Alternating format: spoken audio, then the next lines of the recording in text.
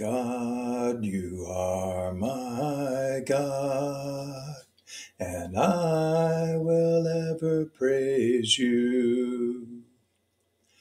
God, you are my God, and I will ever praise you. And I will seek you in the morning and learn to walk in your ways. Step by step, you lead me, and I will follow you all of my days.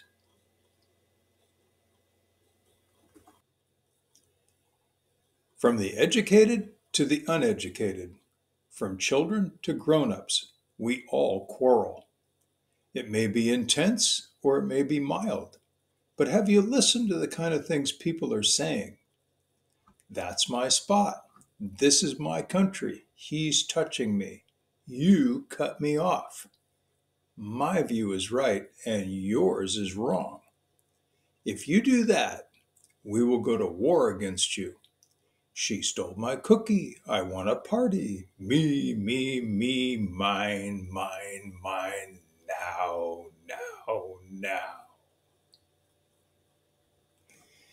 Interestingly enough, the person who makes any of these statements, or a zillion others, isn't just saying that the other person's behavior bothers them.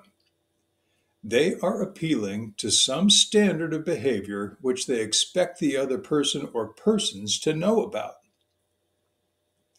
It is rare for the other to say, to hell with your standard. Rather, more typically, the other person comes up with a reason, a justification for why it was okay in this particular case to take those actions, do that deed, say those words. In short, humans don't typically challenge that there is a right and wrong. Rather, we justify why we did what was not wrong at the time. God to Adam. Did you do what I asked you not to do? Adam, the woman who you gave me did this. God to Eve, what have you done? Eve, the serpent deceived me, and I ate. Now, whether you accept their story as literal or figurative, rationally we simply have to admit that all humans, including ourselves, hold a pretty specific set of universally understood standards and are somehow prone to violate those standards and then justify our actions. It could easily be called hiding from understood responsibility and blaming something or someone else, as that's what it amounts to anyway. Something turned up which lets me off keeping my promise or doing what is understood to be right, etc., etc. Whatever we suppose their origin to be, it appears that there are universally understood dictates of right and wrong, sometimes called common sense, which are meant to steer mankind clear from error, enabling us to judge between true and false. And it works for the most part until someone doesn't get their way.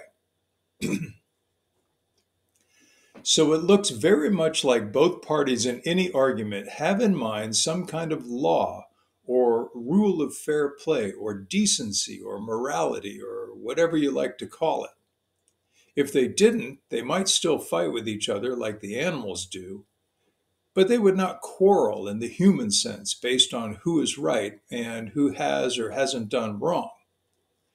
The very purpose of quarreling is to show that the others are in the wrong. There would be no sense in this sort of human behavior if there were not a commonly held sense of right and wrong. We humans even make this kind of thing up for our games and other activities. A referee can hardly call a foul if there isn't a recognized rule of the game which has been broken. It even extends to things we all generally agree are cool, like watching Andrew do tricks on his skateboard. Something, some inner and commonly held sense defines what is cool and what is not. This inner sense of right and wrong has been called the law of nature. However, the law of nature is really just a description of what nature does. A dropped rock falls due to the due to gravity, but the rock had no choice in the matter. So it is not really a law, but a description of how the nature of dropped rocks and gravity work together.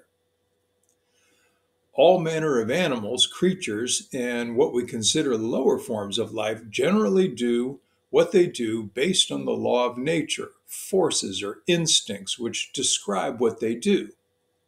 When we see a lion hunting, killing, and eating another animal, we're not observing moral decisions based on right and wrong, but are merely observing what lions do.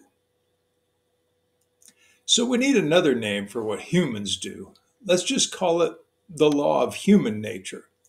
Because what we find is that mankind has this in, inherent understanding of right and wrong, present even in infancy, though dawning more as we mature. Sure, there might be the odd individual who doesn't know it, just as there are some people who are colorblind or tone deaf. However, taken as a whole, the race of mankind has a sense of what constitutes decent behavior, which is obvious to everyone. It is true that different civilizations and different ages of mankind have had somewhat different moralities and certainly different laws and rules to fit their times and understanding, but the baseline differences are actually pretty slight.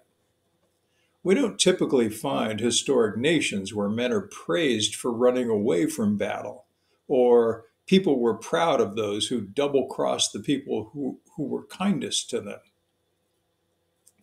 There have been differences in loyalties, but selfishness and taking advantage over others has never been admired. Men have differed on whether to have one wife or many, but the concept of this is mine, not yours, has always been, along with many other understandings. In mankind's case, this law of human nature, or right and wrong, is above and beyond the, the actual facts of human behavior. It is a real law which we did not invent, and yet intuitively, consciously, conscientiously know that we ought to obey. It actually constitutes our sense of the right way to live with one another, fair play, or shall we say, how humans ought to behave.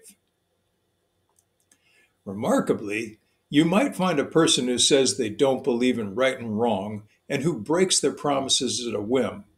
But if you break a promise to them, what do they say? That's unfair. Nations do this with treaties all the time.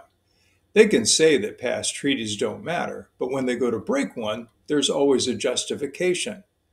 Why justify what didn't matter?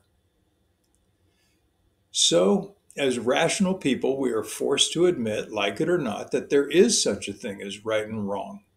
People can be mistaken about the details, just like getting a number wrong when balancing your finances. But we find that right and wrong are not merely matters of taste or opinion any more than the multiplication table. With this as our first point, that a universally understood sense, not details, of right and wrong does exist within the human race as a whole, then we can go on to the next point. And that point is that none of us, speaking of mankind historically or currently, have really or are really fully keeping this law of human nature. We all know what we ought to do and how we ought to behave, but quite often we justify not doing so. It is hard for me to imagine that you would consider yourself to be an exception to this. For me, 48 plus years of following Jesus has brought many good and great changes into my life. Much darkness has been dispelled, much light has been installed and is shining. Yet, along with the Apostle Paul, the following statement is mine as well from Philippians chapter 3, which says, I do not count myself to have apprehended, but one thing I do forgetting those things which are behind and reaching forward to those things which are ahead, I press toward the goal for the prize of the upward call of God in Christ Jesus. I will be continuing my journey of personal growth and development throughout my entire life. This has been and continues to be a realignment of myself with God. So much more than merely gaining the ability to behave more closely to what I, I know I ought to, though that is included in the package. None of us fully escapes the human condition this side of heaven. Therefore, the same apostle urges us again from the same letter let nothing be done through selfish ambition or conceit, but in lowliness of mind let each esteem others, others better than himself. I know each one of you, and I see many ways in which each of you have been and continue to be better people than myself. In fact, I rejoice in this. What true father would not? So I would have you understand that I, am not talking about a way in which we or I become better than others. Rather, I am putting forth a truth that an extension of the universal truth of right and wrong is the observation that as humans, it may be this year, this month, more likely this very day, we have ourselves failed to practice the kind of behavior we expect from other people. Oh, we have our excuses. I snapped at the kids because I was tired. Yeah, I took advantage of a shady deal because I was hard up for cash. And what I promised so and so that I would do, well, I never would have promised if I had known how busy I was going to be. Or even that I do to them because of what they did to me. Regardless of knowing this truth, should someone point out that I am not keeping the law of human nature very well, that I am somehow in the wrong, then automatically, in that instant, a string of excuses pop into mind. Hopefully, in that moment, I have the wisdom and maturity to know how to respond well. This internal interaction is just one more proof of how deeply we do believe in right and wrong. If we did not, then why the excuses? Why the feelings of guilt when we know internally that we have not behaved decently? We actually feel this rule of law, can't bear that we have broken it, and so make excuses. Our good temper is because we are good people, but our bad temper is because, well, we were tired at the time. When humans are challenged, we often reply, I don't know what you're talking about. Generally, this is simple self protection because we know our thoughts to be private, and there are layers we won't or don't divulge due to the sense need for self protection and our sense of self before others. Perhaps reputation or false reputation is felt to be at stake. All humans do this. It may be one thing to have no guile, but to be 100% transparent is a stage most of us never attain though it can be mastered to a large extent once we know the answer to the existential questions of life. Who am I? Why are we here? What is this life all about?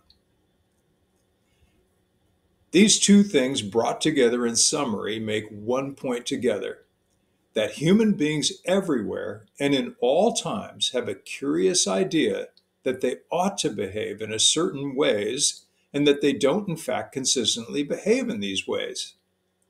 We know the law of human nature, and yet we break it.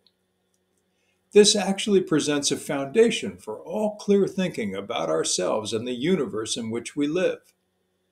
The apostle puts it like this when comparing the Gentiles or nations to the Jews who have received moral law directly from God, from Romans chapter 2.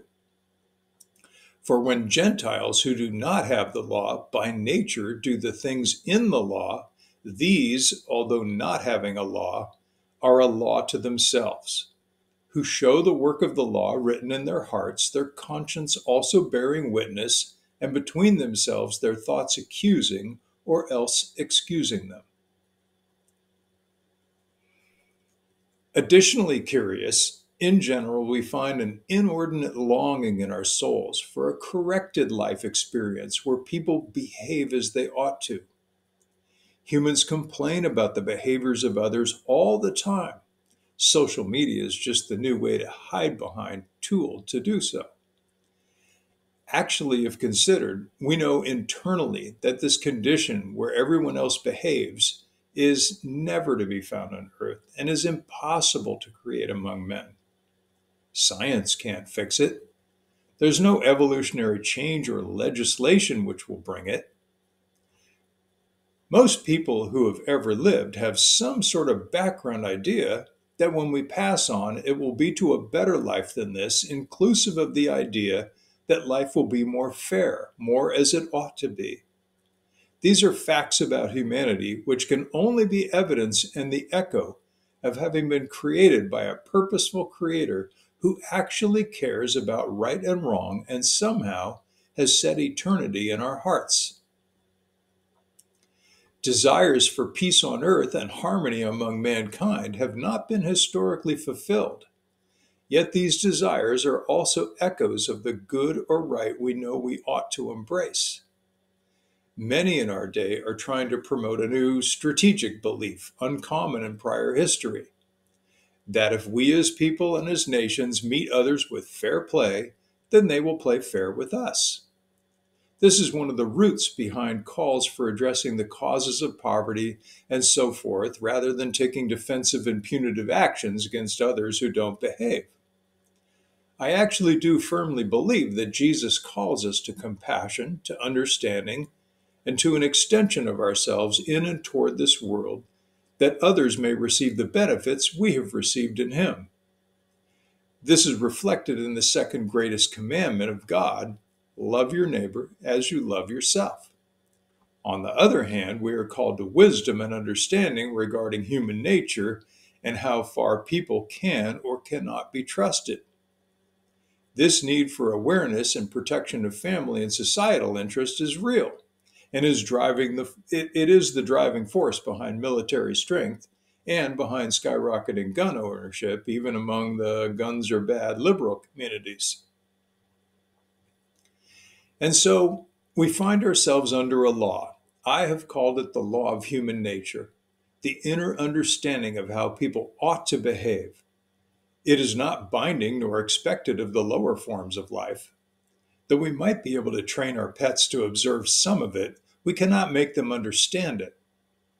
In addition, this law has always been, as long as humans have existed in their cognizant state upon this earth. We didn't evolve into it. We may have historically codified it, but we are not its point of origin. It is simply part of how we are put together and how we find ourselves to be.